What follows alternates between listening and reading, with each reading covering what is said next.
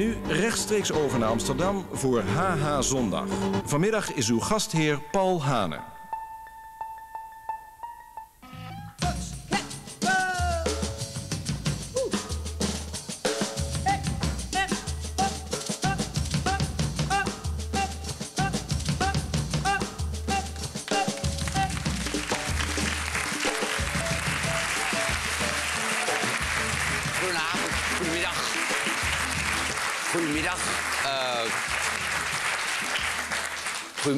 Fijn dat u eh, kijkt. En ik raad u aan ook om te blijven kijken. Want we hebben Jochem uit Den Hagen.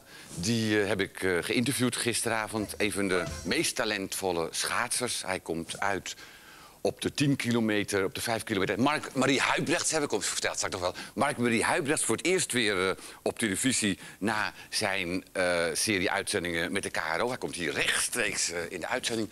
En we hebben Willeke Alberti. En die eh, komt met het laatste nieuws.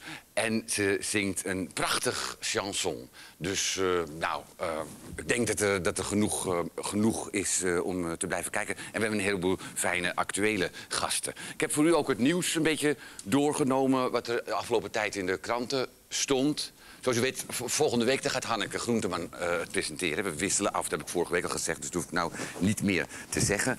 Ehm, er stond een foto van eh, prins Charles... En die gaat met eh, Camilla naar het huwelijk van eh, Willem-Alexander en Maxima. Dat is echt een hele, hele fijne. Is voor het eerst ook dat hij met haar naar zo'n enorme plechtigheid eh, gaat. Zie je? En zij lijkt ook een beetje op Margaret Doelman. Ik heb er ontzettende zin in om er naartoe te gaan. Oh, Ik denk, ik denk nog wel aan Dienne, hoor. Ik denk nog wel aan Dienne. Eh, ik denk wel dat het een goed stel eh, gaat worden. Dit stond in de krant Gedichtje van Matahari gevonden. De eerste vier regels van het gedichtje van de latere Matahari luiden... Wilt gij alle klippen mijden van de grote levenszee... neem dan voor kapitein en stuurman deugd en achting met u mee. Nou, is dat toch ontroerend. Eh, wat minder leuk nieuws als Paul Huff is eh, overleden. U hebt er uitvoerig al eh, over gelezen. Volgende week is er een, een, een portret nog van Rick Velderhof over Paul Huff. Dit was een hele bekende foto van hem. De Ajax-voorhoede. Kruif, niet te vergeten. Prachtige foto. Maar een foto die heel weinig mensen kennen... en die toch ook heel beroemd was... is een foto van toneelgroep Centrum. Die heeft Paul Huff ook gemaakt. Deze foto is dat. En hier ziet u eh, Peter ten Uyl. Het zijn allemaal jonge mensen nog. Hier Wim Schippers ook nog, heel jong. Martin Schouten. eh, Maria Goos. Hele bekende schrijfster. Ton Forstenbos. Guus Vleugel. Het is echt een prachtige foto. En dit ben ik zelf. Het is ook wel erg als je dat ziet. Het is nog maar een week geleden. Het is toch wel... Dit vond ik een rare foto in het Utrechts Nieuwsblad. Krop ijsbergsla en één komkommer. Laat ze deze foto's zien. Dat is duidelijk geen komkommer en duidelijk geen ijsbergsla. Maar op zich wel een mooie foto. Had ook wel een Paul Huff kunnen zijn. Een echte, echt stilleven. Dit was een artikel, dat ik in het Algemeen Dagblad. Een toetje... een, eh, het lijkt net, zo moet ik het doen. Het lijkt, anders lijkt- denkt u van ja, nee, het staat Telegraaf, maar het is Algemeen Dagblad. Een toetje is een eetbare kunst. Een nagerecht hangt er vaak eh, hangt er vaak wat verloren bij. Het is ten onrechte een ongeschoven kindje, vindt Richard Ophorst van de dessertwinkel in Den Haag. De hoogste tijd voor een toetjesrevolutie. En hij zit hier, Richard. Wat, eh, wat versta je onder een toetjesrevolutie? Ja, eigenlijk het overbrengen van het dessert aan de mensen thuis gewoon. Wat je ook in een mooi restaurant kan eten, dat bij de mensen thuis te brengen. Dat is eigenlijk mijn doel. Maar wat vind jij, je bent, hoe oud ben je? 25. Op welk moment eh, voelde je dat het toetje jouw leven binnendrong? Eigenlijk? Oh.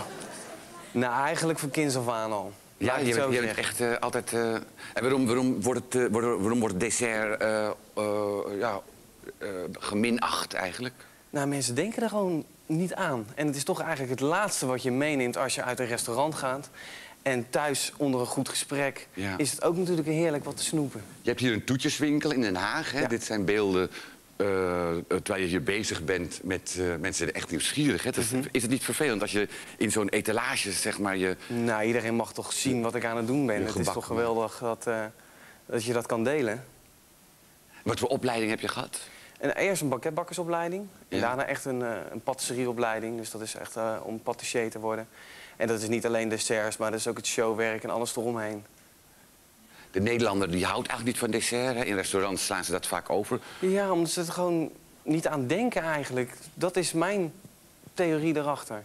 Want als je eigenlijk weet wat je eet en daarmee bekend raakt... Ja, dan zou ik het niet meer overslaan. Het is echt wel kunst ook, hè, wat je doet. Je noemt je ook toetjes kunstenaar, hè? Ja, vaste klanten zeggen altijd tartiest tegen me als ze binnenkomen. Tartiest, ja. Nou, ik vind het wel leuk om daar ook naar te kijken. Je krijgt ook wel trek, hè? Ja, dat zijn, er- maar dat zijn maar bepaalde vormen dit. Om dit eh, zo te presenteren. Het is natuurlijk van alles mogelijk. Jezus, die is mooi, hè? En voor wie maak je zoiets dan? Voor Mensen die langskomen. Ja, mensen die gewoon binnenkomen. eh, Bedrijven, restaurants die bellen. Eh, ja, je ziet het allemaal publiek altijd voor de deur. Dat is altijd hartstikke leuk. Je bent de enige toetjeswinkel in Nederland zelfs, hè? Ah, ja, die het op deze manier doet wel. Ja. Er zijn wat traiteurs die eh, inderdaad het dessert erbij hebben. Maar ik doe echt alleen maar alles op het gebied van dessert. Van het showwerk tot het kleine dessertje op bord, de desserttaarten. Eigenlijk, eh, je kan ze gek niet noemen. En dit is voor, ook zo voor de mensen thuis. Kunnen ze zo netjes maken. Drie stappen. Dessertje op bord in het midden. Saus eromheen, chocoladewerkje er tegenaan. En Je hebt hier ook een paar taarten meegenomen. Dat is misschien ook Ja, wel leuk voor dadelijk voor de snoep. vingercamera, om dat te Oh. laten zien. Dat is gewoon een lekker chocolademoustaartje. Drie kleuren, witmelk en puur zit daar? Oh, nee, je erin. ziet het niet. Oeh, Nee, volgens mij is het te donker ietsje. Of niet? Oh nee, je ziet het wel een beetje. champagne limoen. En bosvruchten met eh, crème de cassis en witte wijn. En wat is je einddoel? Want nu heb je die enorme stap naar het toetje genomen. Ga je nou nog...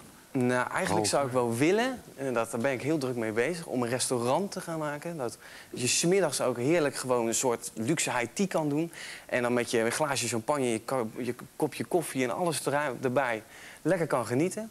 En dan s'avonds, als je naar een restaurant bent geweest, rustig daar naartoe gaat. Daar alleen maar je dessert gaat zitten genieten en het gesprek voortzetten. En dan langzaam afdruppelen naar huis toe. Is toch geweldig? Het zou wel heel uniek zijn, een dessertrestaurant. Ja, eh, lijkt me zo leuk. Ja. Nou, alleen maar lachende gezichten. veel succes. Dankjewel. Ja, veel succes ermee. Eh, ander nieuws, eh, ja, de kroon van Maxima. Het is opvallend hoe verschillende kranten op hetzelfde bericht reageren. Op dezelfde foto. Of, de, of de, ook eigenlijk verschillende foto's plaatsen op dezelfde gebeurtenis. Is, dit is Telegraaf, dus echt heel enthousiast. Maxima die, die ziet die kroon en die voelt meteen dat ze denkt van... oh, wat een, wat een, wat een geil beest, die moet ik, die moet ik hebben. En, en eh, Willem-Alexander die al een beetje jaloers wordt. Het Algemeen Dagblad die plaatst het wat neutraler. Willem-Alexander die echt aan het genieten is en ook denkt van... op welke hoofd komt hij straks eh, te zitten. En de Volkskrant die het een beetje kritisch benadert.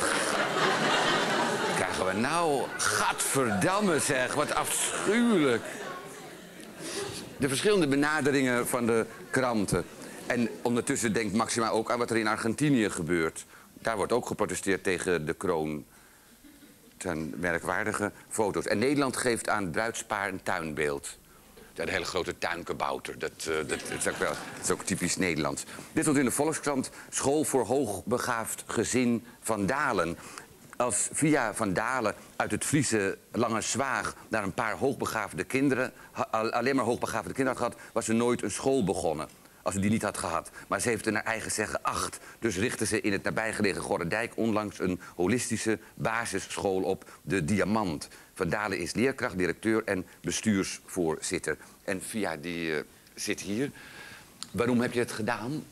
Ja, het staat hier ook al natuurlijk, maar Ja, nou, onze kinderen werden ziek. Eh, Ik heb twee oudere kinderen die ook wat thuis studeren omdat het op school niet meer ging. Werden depressief. je depressief. Ja, werden heel erg depressief. En waaruit, waaruit bleek dat? Hoe merkte u dat ze depressief waren? Dat ze alleen nog maar gingen zitten, niet meer deelnamen aan het eh, gezinsleven of, of wat voor soort leven dan ook.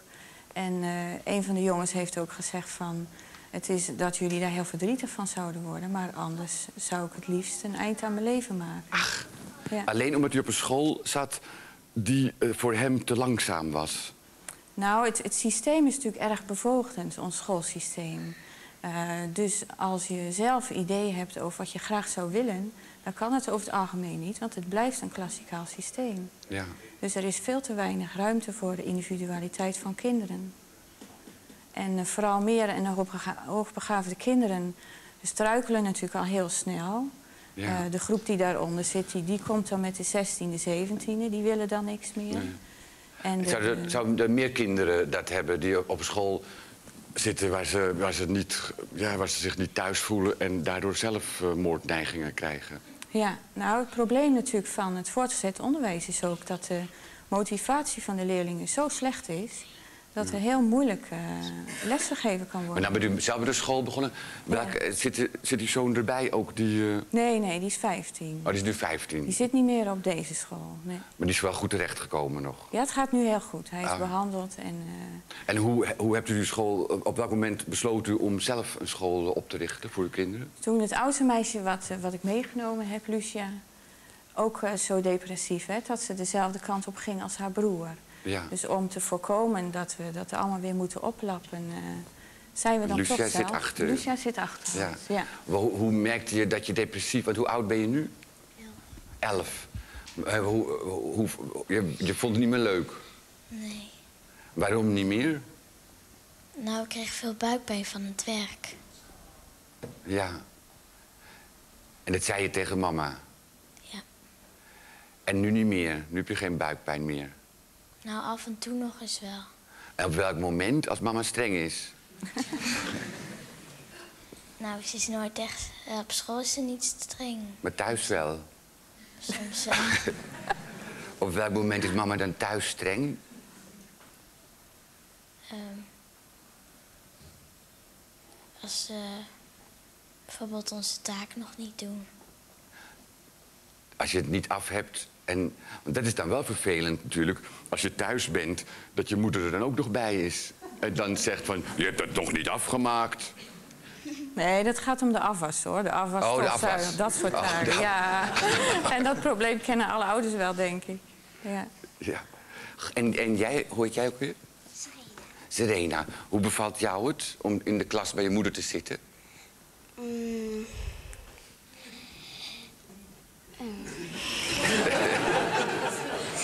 Dit is wel leuk.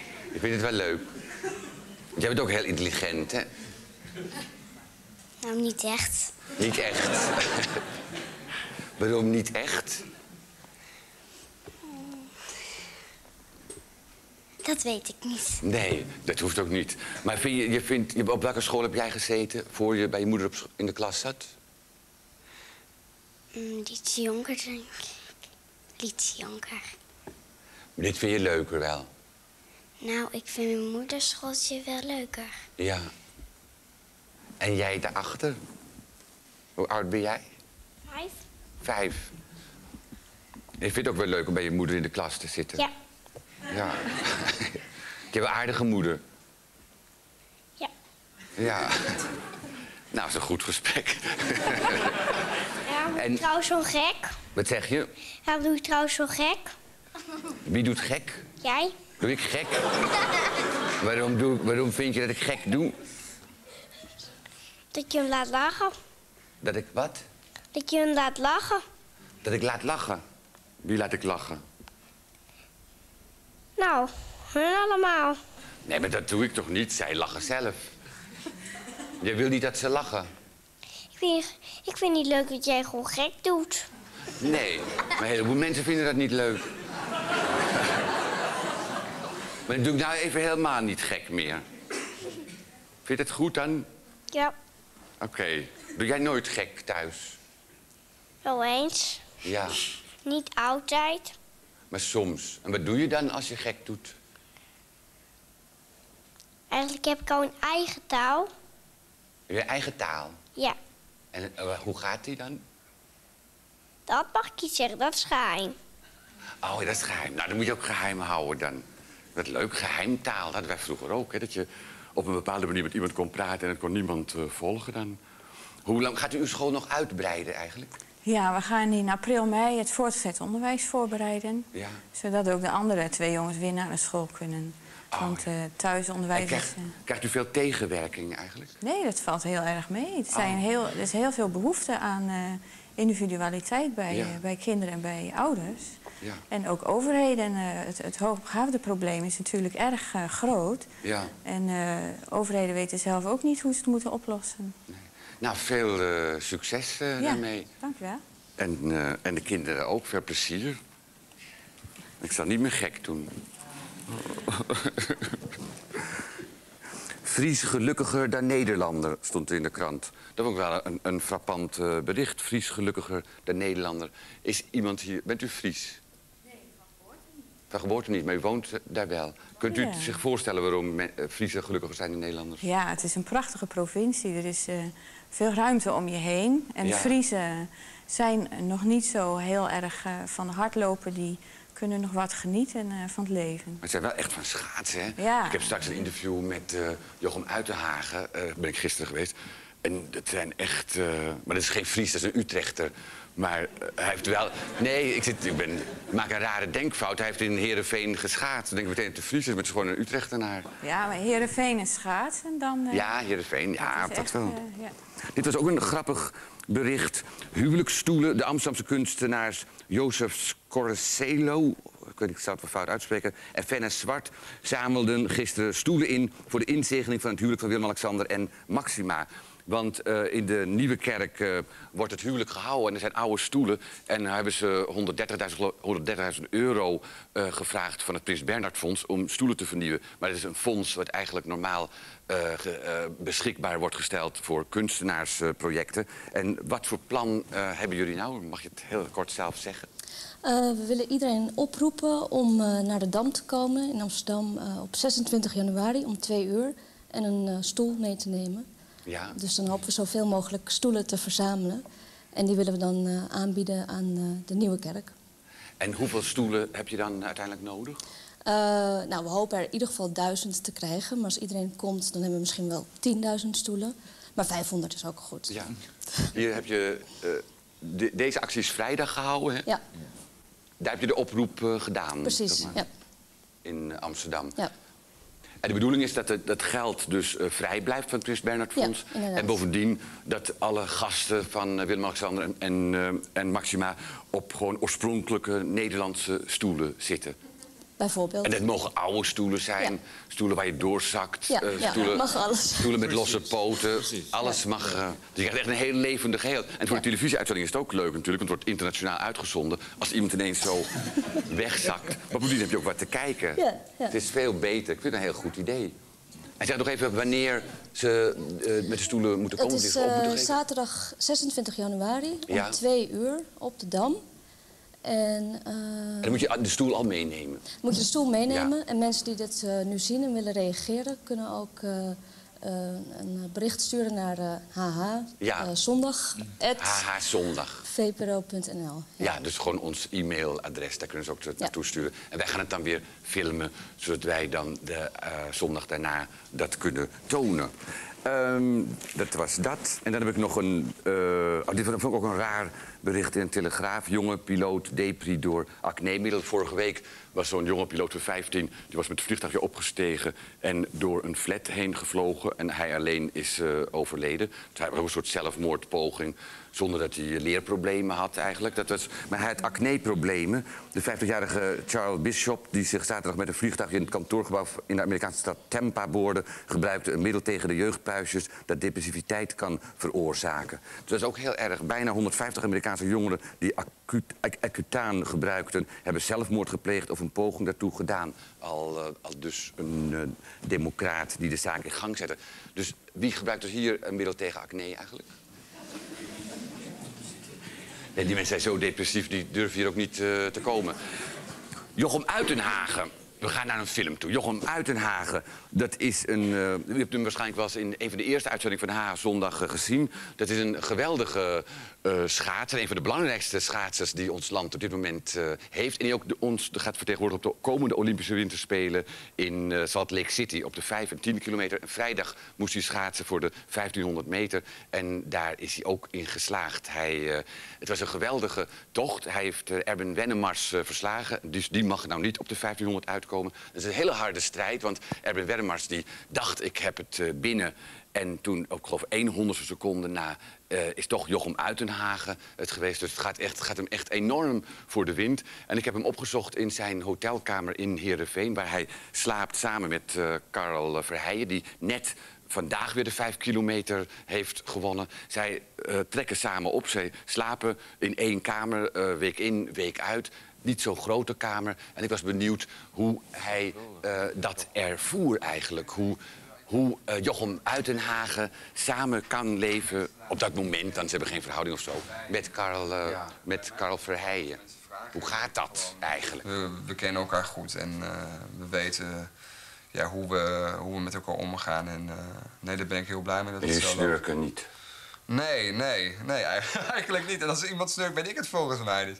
Ja, en dat zijn, soms zijn het irritaties of iemand komt laag, gaat later naar bed. Maar je probeert zo vriendelijk mogelijk tegenover elkaar te zijn en zo min mogelijk herrie te maken. Maar, en als, dan, als je dan een keer wakker wordt, ja, dan kan je wat druk lopen maken. Vijf minuten, vijf minuten later slaap je weer. Dat, eh, dat weet je, dat het van elkaar kan. Ik kwam gisteravond ook heel erg laat terug.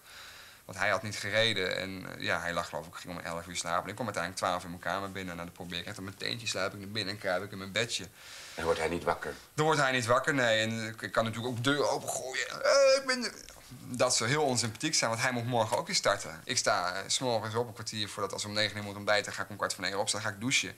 Ja, daar kan je wakker van worden, ja. Maar goed, dat is inmiddels mijn routine elke ochtend. En eh, ik weet dat Karel daar een hekel aan heeft. Dus ik probeer het nog zo zacht mogelijk te doen. Maar hij doet het niet. hij doet het niet, nee. Hij wil liever nog zeven minuten langer slapen. Ja, goed, ik vind het prima. Maar daarin, ja, daar, dat, dat vindt hij eigenlijk, eigenlijk een beetje vervelend. Het gaat wel goed de laatste tijd. Maar nee, dat, dat zijn de verschillen. Maar goed, dat weet je inmiddels ook van elkaar. Maar vangen jullie elkaar eh, ook op als het minder eh, goed gaat? Ja, ja ik dat, gelukkig is dat nu nog niet voorgekomen dit seizoen. Maar je probeert er in dat opzicht wel voor elkaar te zijn. En als, als het niet met kamergenoten is, dan is het wel met ploeggenoten.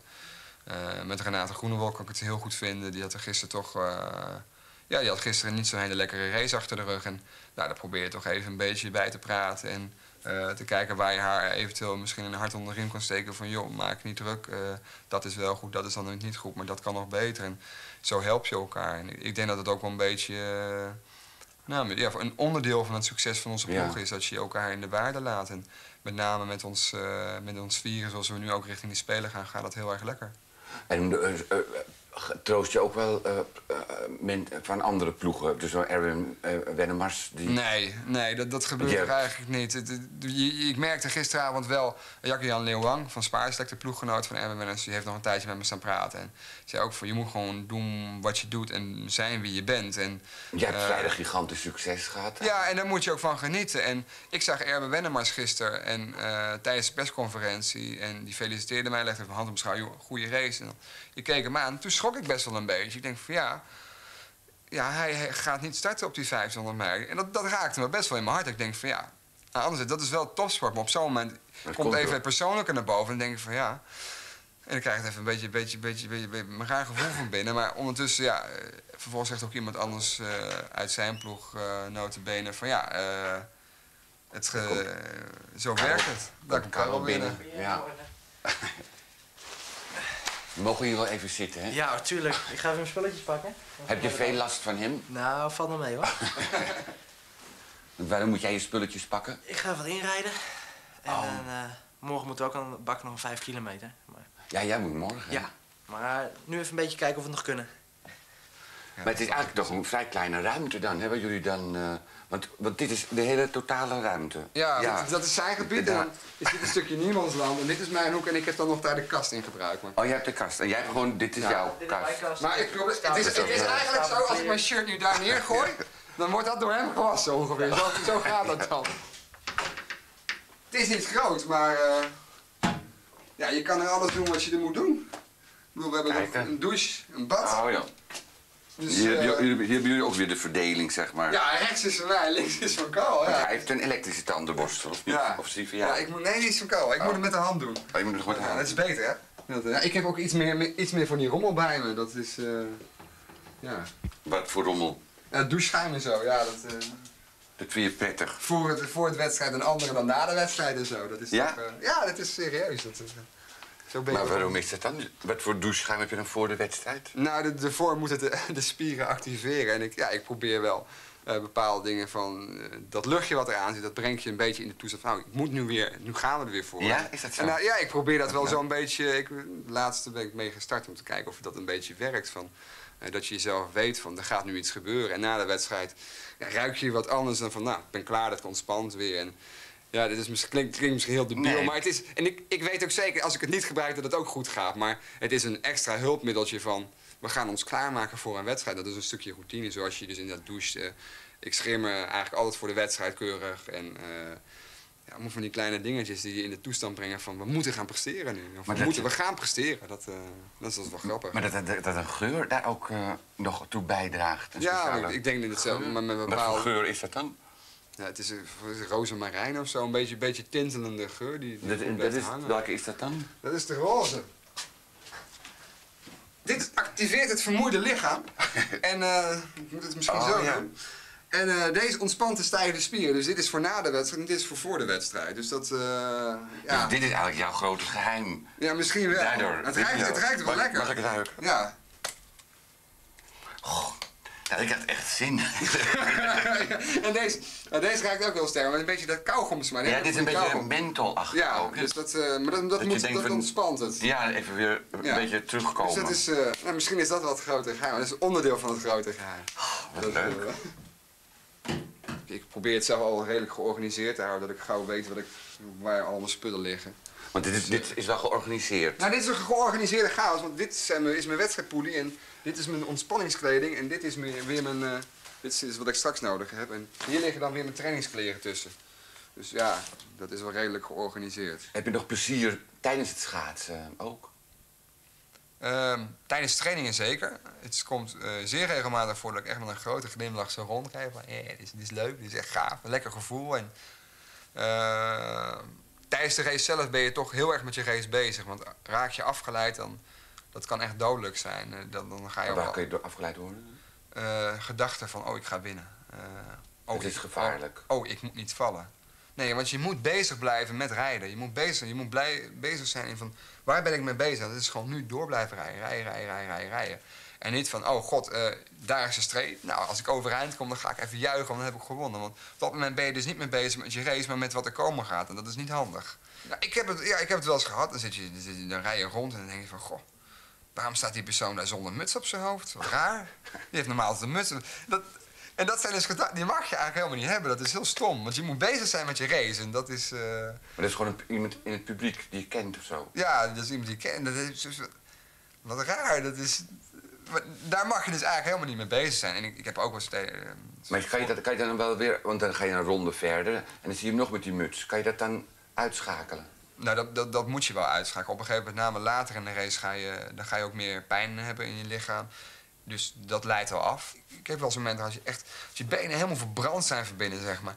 Om daar gewoon toch doorheen te trappen. En dat, als dat lukt, dan is dat ideaal. En dan, dan geef je dat ook weer een goed gevoel. Ja, weer een bocht. Nou, gaan kijken of we de volgende bocht ook weer kunnen doen. En zo hou je jezelf bezig. En dan vliegt de tijd ook om. Dan voor je het weet ben je er. Hoe gaat de komende tijd eruit zien? Eh, de komende tijd zit er als volgt uit dat wij eh, maandag vertrekken naar, naar Calgary met, eh, met onze ploeg. En daar komen wij, ik geloof dinsdag aan, daar zitten wij samen met alle andere Olympische deelnemers. kijk, of, de, of de helft van de Olympische deelnemers zitten wij daar op trainingskamp. Dat is dan ook al onderdeel van de Olympische ploeg. En eh, daar zitten wij tot en met 30 januari. En puur, eh, puur even wat basistraining, wat snelheid. eh, ook de eerste week lekker even uitrusten en even genieten van een paar dingen. Dan de 30ste vliegen we als Olympische ploeg naar Salt Lake City toe. Daar komen we met z'n allen bij elkaar. En vanaf dan zitten we tien dagen in het Olympisch dorp en dan, dan starten de Spelen. En je neemt je badschuim mee. Ik neem mijn badschuim mee, ja. Ik neem mijn computer mee, dat ik iedereen op de hoogte kan houden. En ja, nee, dat, eh, dat gaat helemaal goed komen. En wel- gaat mee, ja. En u zag eh, Karel Verheijen. En hij zei dus eh, morgen dan moet ik de vijf kilometer doen. Ik had het gisteren opgenomen. En net dus vanmiddag heeft hij de vijf kilometer gewonnen. Dus dat zijn echt leuke berichten. Ook leuke berichten zijn, om dat bruggetje te maken... eh, vorige week hadden we Dieke ten Katen in de uitzending. Was een, een conductrice bij de NS. En we moesten afwachten hoe het met de NS ging. En zelf heb ik het idee, sinds de nieuwe directeur Noord zei... dat alle treinen precies op tijd rijden. Niet meer Oh, maar dit hoor ik meteen andere berichten. Wat, wat hebt u voor ervaring? Nou, daar viel vanmorgen ook van alles uit. Oh, Begreep ik, trein ja. uit, Ja. ook weer. Ja, de onze was te laat. Ja. Oh, dat was te laat. U had de bovenleiding. God, ik, wil, ik, wil, ik wilde heel positief eh, beginnen.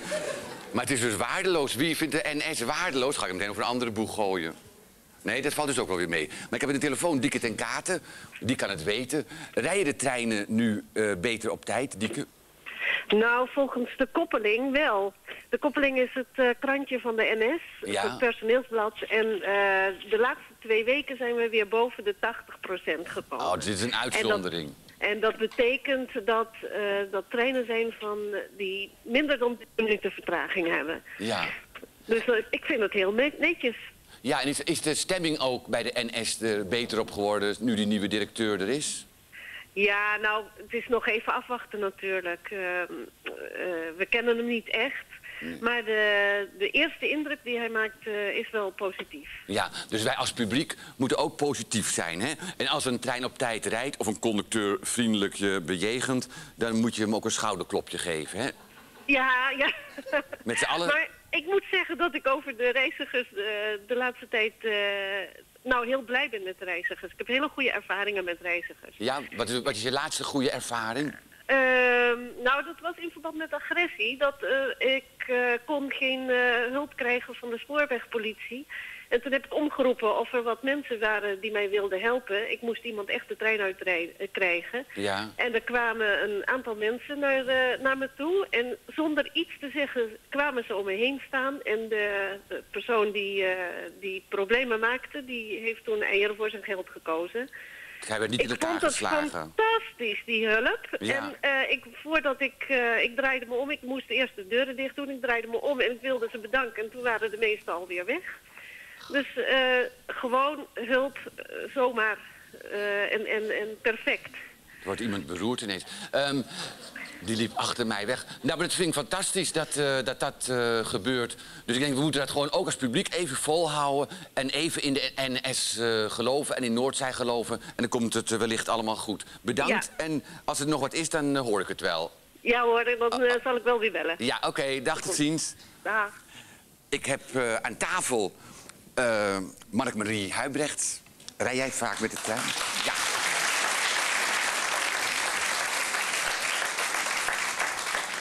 Is het nou voor het eerst dat je weer in een rechtstreekse uitzending eh, zit? Ja. Oh ja. Ja, Nou, dat is het eerst. Hoe bevalt het nu tot nu toe? nou ja, dit, eh, goed, want het is jouw programma, dus dat is heel erg lekker. En voor jou is het natuurlijk eng, omdat Omdat ik Hanneke Ja. mis. Ja. jouw zuster is er niet bij. Dus dat is heel... eh, Nee, ja, anders, anders zat zij hier. zat ze daar, ja, was het allemaal eh, veel, eh, ja, veel drukker. Dat mis ik ook wel. Maar, ehm, maar nu... Maar ze is weg, oké. Ja. Ehm, ja, maar ze is volgende week toch weer Volgende terug. week, ja, week, we gaan gewoon precies. heel, heb je genoeg te drinken? Ja, ik had cola niks? light gevraagd, maar dat vonden ze denk ik lelijk op tafel. Dus Oh, ja. toch, Maar ook cola light. dat komt er zo aan dan. Ja.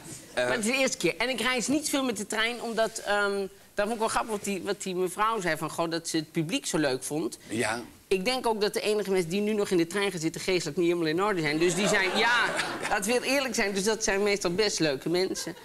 Dus ehm, Die- ik, die- die- ik heb het opgegeven. Ik zal eerlijk zijn, ik Ja. begon mijn tournee met de theatertournee... en toen dacht ik, dan ga ik elke dag ga ik met de trein naar de plaats toe... en dan ga ik met de technicus ga ik terug. Ik denk dat ik... Ik heb het vier dagen geprobeerd... waarvan ik één dag gewoon in Utrecht aankwam. Ik moest naar Den Bosch en toen werd er omgeroepen... deze trein stopt hier, er gaan geen treinen naar Den Bosch. Echt agressief, op die toon ook. Ja, zo ook. Hoe durft u het te denken? Ja, precies. En ook zo van, ja, weet je wat, dat was gewoon... dat hadden we ook al gepland. Dus toen moest ik... Nou, ik moest naar Den Bosch. Je had voorstelling. Ik had voorstelling. En eh, ja, de show must go on. Ja. Dus, ehm, en, toen ben ik met, en toen moest ik een taxi pakken. Dus vanuit Utrecht naar Den Bosch. En, eh, en zo zijn er twee keer andere keer zeg maar, vertraging... of dat je er gewoon helemaal niet kwam. Zo. En toen dacht ik, ja, dit, dit... Want dan zit je in die trein en je kunt niks met de trein verder. Ja, je kunt moeilijk Nee, tegen je zo'n mag. machinist zeggen... sneller doorrijden, doorrijden. Weet je, dat gaat niet. Dus eh, Je mag nog van geluk spreken dat je niet een paar uur dan in een weiland gestaan hebt. Hè? ja. Maar heb je dan, ga, je dan ook, ga je dan toch tegen die conducteur praten? Ook als die eh, op die manier... eh, Nee, want die conducteurs, het is op zich wel slim... die gaan op een gegeven moment helemaal niet meer rondlopen. Die hebben zo'n hokje waar ze in gaan zitten. Kijk eens. Oh, dankjewel. Hoe snel dat Ehm, gaat. Nou, en eh, die Ging het bij gaan... de KRO ook zo snel? Ja, bij de? KRO ging het nog Oh, ja. iets sneller. Oh, nee. maar ehm, maar dat kwam, dat kwam van boven. Maar, ehm, ehm, bij, eh, maar die conducteurs laten zich op een gegeven moment helemaal niet meer zien. Die gaan er gewoon in een hokje zitten met z'n tweeën, houden de deur dicht. En die lopen gewoon Ja. in. Dat snap ik ook wel. Dat zou ik ook niet meer doen natuurlijk. Want als je rond gaat lopen, dan gaan mensen allemaal klaar en vervelend zijn. Dus je gaat gewoon niet meer rondlopen. Nee. Maar het- het- ik denk, je moet het ook niet opgeven. De, de trein is een van de mooiste vervoermiddelen... die er ooit eh, op de wereld terecht zijn gekomen. Dus, eh, maar dat heb jij niet. Nou, de mooiste vervoermiddel die ooit op de wereld is Ja, gekomen. denk daar maar eens over na. Ja, ik dacht er al over na. Maar ik, dat vind ik ook. Maar ik vind, ja, misschien moeten we gewoon ieder dat zijn eigen zo'n ding hebben. Weet je wel? Dat we allemaal zelf het op spoor kunnen zetten. En zo op weg naar Groningen. Dat lijkt me op zich ook wel goed. En dan maak je zelf uit hoe laat je vertrekt en hoe laat je aankomt. En dan ben je niet bang dat er net iemand voor jou zit die flauw gevallen is? Ik ben altijd bang. Oh, dus natuurlijk, ja. daar zou ik ook bang Waar ben je nog meer bang voor dan? Dan gaan we meteen de diepte in. Ja. Wat zijn jouw angsten eigenlijk? Mijn angsten? Ja. Nou, het, het grappige is dat ik... nee, ik, ik heb niet zo heel erg veel angsten. Ik ben vrij... eh, ik ben vrij... ehm, Normaal. Nee, niet, nee, lijkt me niet. Volgens mij, volgens mij is iedereen wel bang. Maar ik heb, ik, bijvoorbeeld geen, ik heb geen eh, doodsangst, bijvoorbeeld. Ook nooit gehad? Nee, nooit gehad. Ik ben nooit bang geweest om dood te gaan. Niet dat ik denk van, god, het moet morgen gebeuren. Maar als het... eh, of straks. Maar als het, als het gebeurt, denk ik, ja, dat, het zijn zo. En dan denk ik ook niet dat ik naar onze lieve Heer ga of zo. Of dat daar heel gezellig is. Of eh, met de vliegende kipjes door de lucht. Maar ik denk dat... Ja, ik denk aan wat gebraden kippetjes. Maar dat is niet zo. Maar ik, ik meer zoiets van, nou, dan is het... Dan is, ja, dan is het rond of zo. Dan is het gebeurd. Ik heb niet van, ik wil nog van alles. En ik wil nog naar India. En ik wil nog... En denk, ja, dan ga je naar India en dan, ja, dan ga je dood. Ja, ik denk, ja, dan ben je dan geweest. Nou, dat is leuk. Ja, het maakt niks uit dan. Ja, dat denk, vind ik altijd zo grappig. Mensen zeggen, ja, ik wil de Mount Everest. denk waarom zou je de Mount Everest gaan beklimmen? Daarna ga je dood. Ja, dat is, wel, dat is wel iets om over na te denken. Maar jij hebt ook niet in je omgeving... eh, met, ben je niet met de dood geconfronteerd? eh, ja, juist gewoon? wel. En daardoor ben ik, denk ik ook dat daar wel mee te maken heeft... dat ik, doordat je dat dan meemaakt, of dat dat in je omgeving gebeurt... dat je er minder bang voor bent of zo. Ja. Met je, je bent met je, je, met, eh, met je moeder opgetrokken, zeg maar? Of tenminste, je hebt dat van dichtbij eh, meegemaakt? Ja, dat, dat hij is gestorven. En dat is, dat, ja, op een gegeven moment... eh, dan ben je daarbij dat iemand sterft. En, dan, en, dat, en dat maakt op een gegeven moment... Voor heel veel mensen is de dood een soort iets wat... Ja, ooit in hun leven binnen zal komen. En weet je, een man met een zijs. En dat, ja, dat gaat ooit gebeuren. En God weet wat. Weet je, maar als je het van heel dichtbij hebt meegemaakt... dan heb je het al een keer gezien. Of zo. Ja, Ik weet niet. Dan wordt dat minder, is het minder eh, iets heel onbekends en raars. Ik vind het mooi dat, je- dat je daar absoluut geen angst eh, voor Nee. hebt. Heb je ook geen angst voor Willeke Alberti?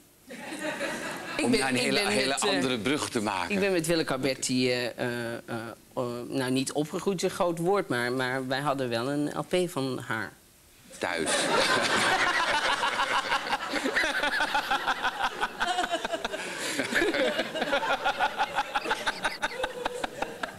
is al heel lang geleden, ja. Weet je nog welke? Ja, en dat stond één heel erg mooi nummer op. Dat vond ik, daar kon ik vroeger echt. eh, dat was. eh, ik zou mooi willen zijn voor jou. Zo mooi dat je altijd bij me blijft. Dat je elke ochtend lachend zeggen zou. Ken je dat? Dat je dankzij mij Mens veel beter schrijft. Dat was uit de kleine waarheid. Ja, de kleine waarheid. En die Ja. had mijn moeder gekregen met Pasen. En eh, ja. ja, echt waar. En die draaiden we dan en zo. Zeg eens wat God, doe eens wat God. Die in de hemelen zijt. We zoeken ons allemaal God, oh God. Maar de weg naar elkaar zijn we kwijt. Ach, wat mooi dat je Ja. dat precies weet. Zo, misschien kunnen jullie samen zo de uitzending straks eh, eindigen in een soort tweestemmige zang. De kleine waarheid medley. Willeke die gaat... Madameke, madameke, madameke van Poorten. Oké, we straks. Willeke die gaat nu iets eh, zingen van haar nieuwe prachtige cd. Ik heb hem helemaal gehoord. Het komt allemaal goed. En zij zingt het lied Heimwee.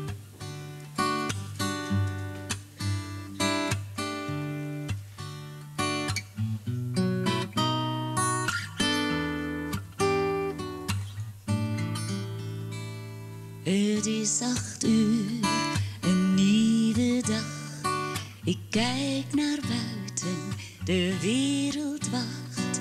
Het regent hard en ik denk nee, nee, ik sta niet op. Vandaag doe ik niet mee. Dit gevoel wil maar niet verdwijnen. En ik denk telkens weer en ik ik kan er niets aan doen. Ik heb heimwee, stille strand.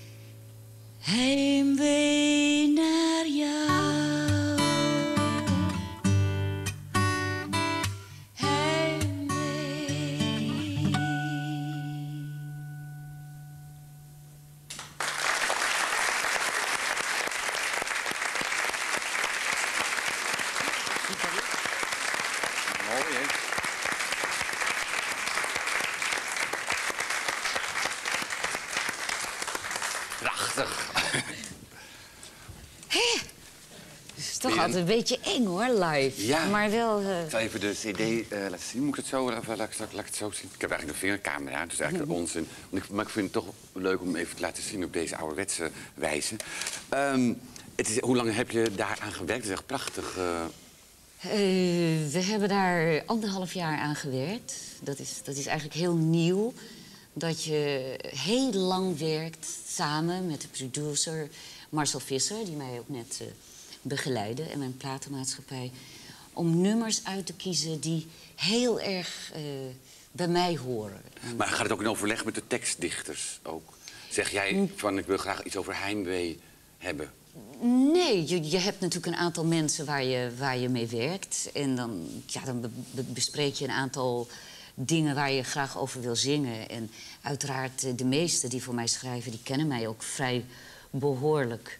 En eh, ja, onder andere Jeroen Krabbe heeft een, een prachtige tekst ooit voor mij geschreven... na een vrij moeilijke tijd. En Welke dat hebben we was nu. dat? Welke dat is tijd? zes jaar geleden toen ik eh, ineens eh, alleen was. En, Dat was je van Lerby ja, afgegaan. ja, ja. De voetbalheld. Ja, de maar. held. Ja. En waarom ging je daarvan... waarom ging je daarvan af? Ja, jeetje, de- daar zouden we het geloof ik niet over hebben. Of, eh, Ik heb helemaal niks we hebben Nou ja, als ik daarover over ga praten... Nee, ik praat over mijn cd. En het gaat over die tekst die hij toen schreef... na, eh, ja, na mijn scheiding van de held Søren Lerby. Toen... eh, heb ik... eh, maar heb je het eh, met iemand besproken dat we het daar niet over zouden hebben? Ze hebben tegen mij nou, niks nee, gezegd. maar ja, ik, ik, ik wil Je zo ging ervan uit graag eens eigenlijk. over mijn cd praten. nee. En dat is... eh, Ja, de- je altijd komt altijd weer over eh, vroeger. En ik leef nu en ik... eh, Maar het is wel zo dat de cd, ja, ik wil mezelf. Dit, dit, Nee, dit- meng je ja, erin. Ja, het is, eh, het, het, die liedjes komen natuurlijk vanuit iets. En dan is het leuk als je thuis zit, dat je denkt, ach, dat gaat natuurlijk over. Zeuren. Zeuren toen hij dat of dat had gedaan. Of, snap je? Dat is leuk om te weten. Het is toch niet erg?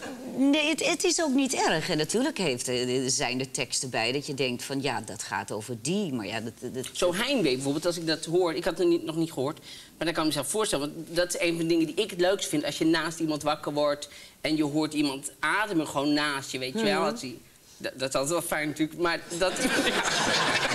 Ja, ja, ja, ja.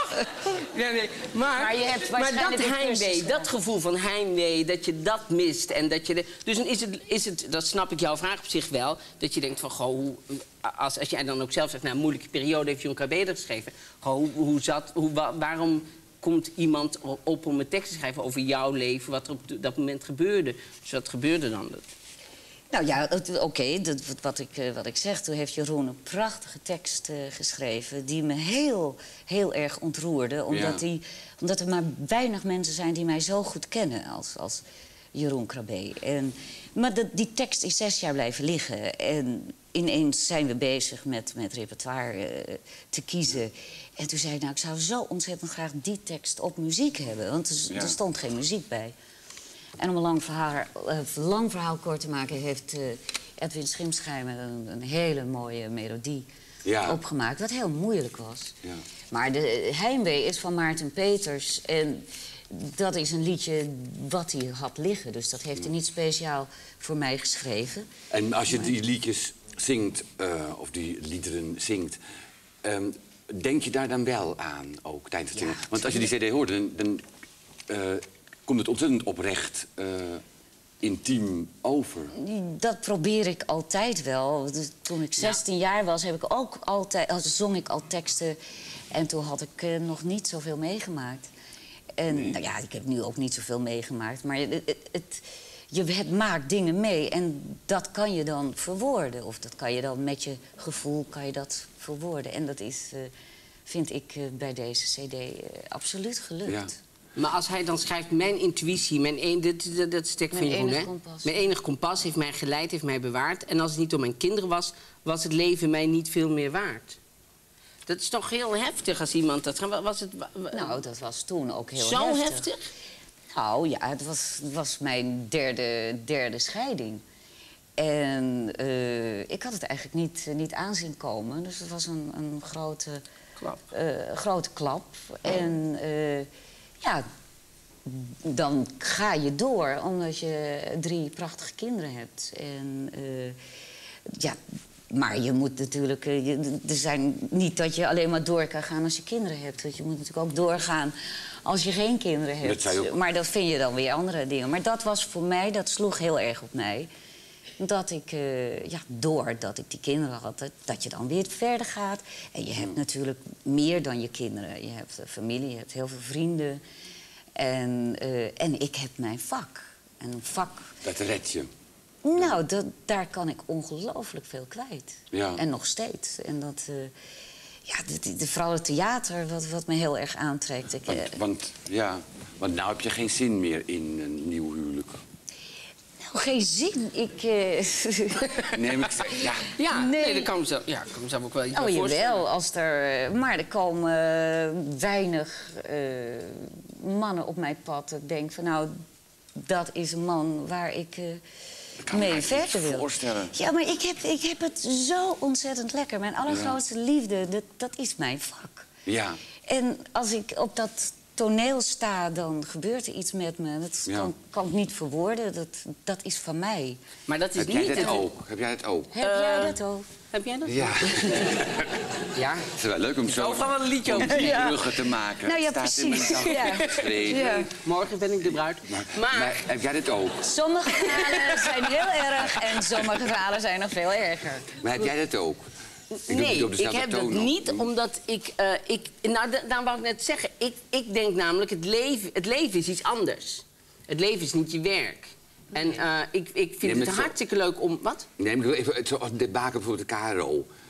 Bij wijze van spreken. Hallo, dat is een overgang. Wat? Ik vond het zo Ja. lekker om bij jouw scheiding Ja, te blijven. lekker, hè? Ja. Ja. Nou, Ga door, ga door, Ik ga door. We je hebben. hoor. Maar surfen. Heb jij zijn debakel jij gezien? Heb jij zijn debakel bij de KRO? Nee, nee, nee. Nee, ik, was, ik ben altijd heel enthousiast geweest, ook over de rechtstreeks eh, uitzendingen. Maar je liep vast. En op welk moment loop je dan vast? Nou, Heb je het geanalyseerd al nu? Ja, we hebben het geanalyseerd, eh, heel het team erbij. En ehm, het was allemaal mijn schuld. Nee, het was... Daar zijn we wel achter gekomen. Er is nooit een schuldige. Dat, heeft je Ja, therapeut zeuren. gezegd, maar er zijn soms echt Zeuren wel... wel, toch? Zeuren was schuldig, vond Nee. ik, jouw held. Nee. Nee. Je bent overal zelf bij. Ja, Ja, ik ben dus- overal zelf bij. Nee, maar daarom zeg ik... da- da- Dus ik denk, als we in analyse zeg maar, gaan... was, was het eh, zeg maar gewoon niet zo'n heel slim plan van mij... om... Wat? Om wat? Om wat? Om, Om het op te nemen of om rechtstreeks? eh? Om, nou, het was, nee, het was niet zo'n slim plan om na eh, rechtstreeks opgenomen te doen. Eigenlijk precies een beetje hetzelfde met een aantal nieuwe items erin. Omdat ik...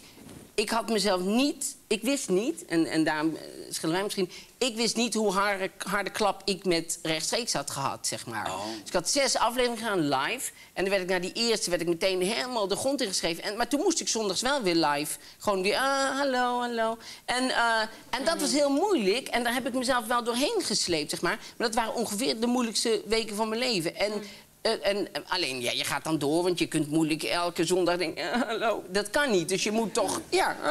En... ehm, dus toen gingen we opgenomen doen. dacht ik, oké, nou, dat is hartstikke prettig. En toen kwam ik weer in hetzelfde decor. En het was gewoon net of ik, of ik weer helemaal terug was bij die eerste reeks. Het was heel, ik vond het heel moeilijk om, om weer een soort vrijheid te voelen. En toen, ehm, ja, en dat bleef een beetje zo. Dus ik durfde mezelf heel, ik dur- durfde heel moeilijk nieuwe dingen te doen. En ik voelde mezelf, het, ik zat gewoon vast. En ik dacht, volgens mij, ik moet hiermee ophouden, want ik, ik word hier helemaal gek van. En, en toen vond ik het heel prettig dat ze, dat ze bij de KRO natuurlijk eerst vervelend vond ik stopte, maar toen wel begrepen van ja, als je er zo ongelukkig van wordt, dan eh, accepteren we ook wel de problemen die we ermee krijgen. En dan, dan, dan moeten we maar iets verzinnen. Dus Ja. dat. eh, Maar was het ook zo dat je de, dat je de kritiek eh, dus aantrok? Eh, Nou, of dat je ook eh, vond dat ze gelijk hadden voor een Het is zo. Ik, ik, kleine anekdote. Nou, ik, toen kende ik Zeuren nog niet, maar toen was ik... Nee hoor. Wat Zeuren en ik zijn zo. En ehm, nee, het was zo. Ik, ik was een keer in Toemler, weet je wel, dat- stand-up. En toen moest ik iets presenteren, een avond presenteren met comedians. En dan begin ik en dan zit ik zo te praten, wat materiaal. Ging ik een beetje met het publiek praten, eerst comedian. Ik kom weer terug. Toen zeg ik, eh, ik zeg, begon ik zo met een groepje, want in het midden zat een beetje saai. Een beetje Oost-Europees-achtig uitziende vier mensen. Heel erg, staat altijd zo. Zeg ik van, goh, mevrouw, hoe heet u? U hebt iets aan uw been. Ja, dat is persoonlijk, daar wil ik niet over praten. Ik zeg, nou, hartstikke goed. Dus ik zeg, eh, u meneer, hoort u daarbij? Zegt die meneer, ja, daar hoor ik bij, maar het is misschien leuk als u zelf wat grappen maakt... voordat u iedereen af gaat zeiken, zegt hij. En dat was helemaal niet wat er gebeurde die avond. Maar ik schrok zo van wat hij zei. Omdat je als je... Als ik op toneel sta, ben ik vrij open in van... ik ben gewoon een soort jonge hond die iedereen mag spelen. Dus toen zei hij dat. En toen schrok ik zo erg van wat hij zei... dat ik vol schoot. En, ik, en toen wist ik niet meer wat ik moest doen. En toen zei ik... En heel het publiek werd kwaad op die man. Want die hadden allemaal door dat, ik dat, dat het daar mij nooit om gaat. En toen zei ik, zeg, nou, de volgende comedian is... En toen moest ik die volgende aankondigen. En die kwam, dat was natuurlijk voor die volgende comedian heel erg. Toen kwam ik af en toen zei iemand van... ja, daar moet je zelf tegen wapenen, dat dat soort dingen kan gebeuren. En dan moet je dus toch tegen harden. En toen dacht ik, als ik zo hard word dat dat me niks meer doet... dan moet ik ermee ophouden, volgens mij. Eh, op het moment dat ik denk van niks kan me meer raken, ik kan op het toneel gaan staan, dan kan er gebeuren wat er wil, ik overleef het altijd, dan vind ik het niet meer de moeite waard.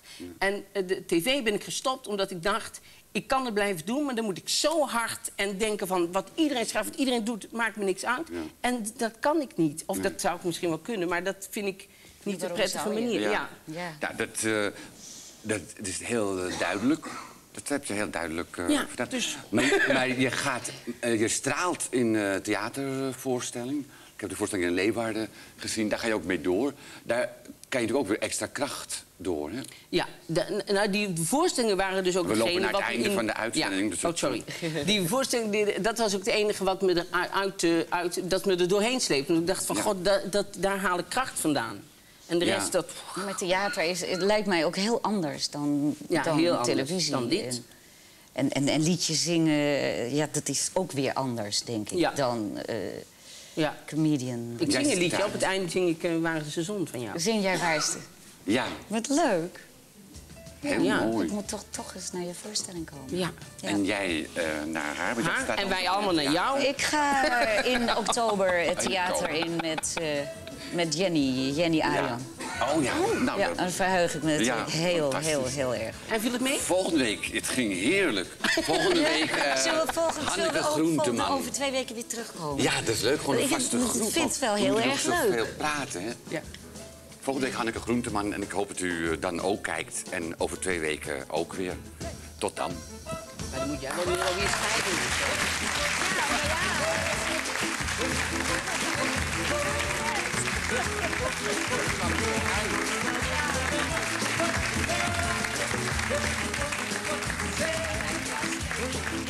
Wilt u een uitzending van HH Zondag bijwonen, dan kan dat. Bel tijdens kantooruren met 020 530 0523. Of mail hhzondag.vpro.nl In Persaldo, de Afrikaanse droom. Een klein internetbedrijf opent een vestiging in Ghana. We hebben een klant. Deze jongen die kan een week op die scholen gaan staan en een beetje muziek maken met Ken. Maar ik ben hier een uur en ik heb gewoon eh,